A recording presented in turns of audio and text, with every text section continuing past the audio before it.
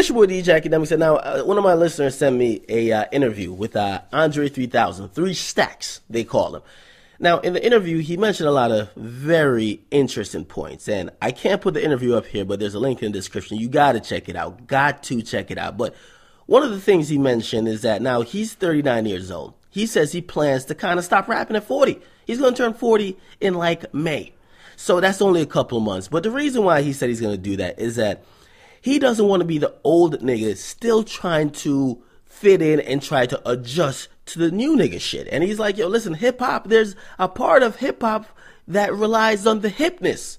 Hip is a root word of hip hop. And hip is being cool, being trendy. And he's like, listen, the music really is catering to these people who are like 16 to 30. He's like, how could you, if you are way outside that age range, right? And though that type of demographic, the 16 to 30, they're creating new slang, right? I keep telling you, the high school age, they're the one that dominate fucking Vine. They're the one that create these new slangs, thought, and all that. They're the one that set these trends that everybody else adopts to.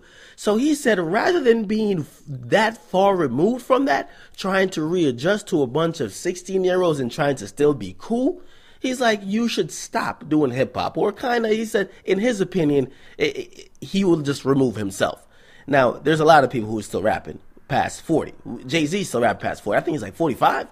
But Jay Z does a little bit different. Jay Z's not trying to adjust to the newest um fucking um slang. He's not over here talking about yo these thotties ain't loyal. He kind of raps about his own personal life and his own maturation, and he's kind of got a flag for that. I mean, I sit up here and call him Grandpa Hove because he's not rapping about shit that I can't relate to. Because shit, he's like twice my age. So it's it's a difference, but it was very interesting when he was saying, and he was he also mentioned like newer groups, and you never hear this type of um advice or honesty from older rappers, especially older rappers of his caliber. He's one of the best rappers ever, right? I mean, you would like to have more material, but yeah, he's one of the best rappers ever he said and he's giving advice to the younger artists. Like he's giving advice to maybe like a Migos, maybe like a Young Thug, maybe like a Joey Badass, maybe like a J. Cole or anybody else, even Kendrick.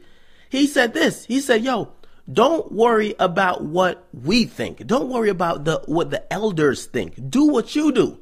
Because we're not hip anymore.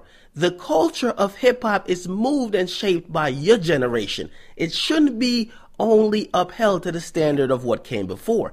Because what came before was upheld within the standard of its time, and you can't keep continuing to uh, compare now to the past. I thought that was actually dope.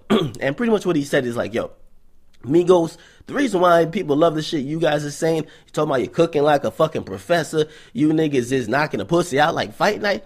People relate to that shit. That's your generation. That's how they fuck with music. That's what they're thinking. That's why it's permeating within the whole culture.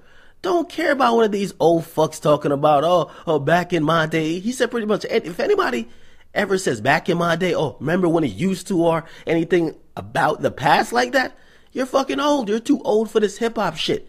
And in some sense, I respect the honesty. I respect that take.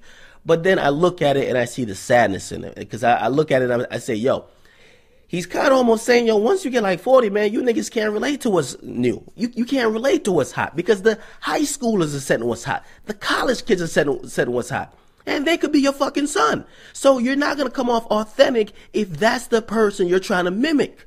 And it just reminded me that, yo, for people like Beanie Sigel, because you guys heard me talk about Beanie Sigel, I'm like, yo, he's a rapper who everybody loves. Dipset, everybody loves, but everybody doesn't consider those groups hip. They don't consider those groups trendy anymore.